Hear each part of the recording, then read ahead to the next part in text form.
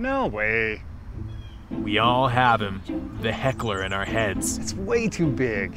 You're gonna fail. Have you ever even gotten that thing off the ground before?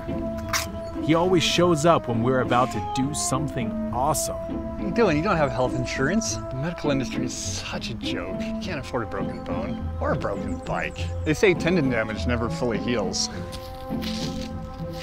You can ignore him, try to block him out, but there's only one way to really shut him up. Where are you going?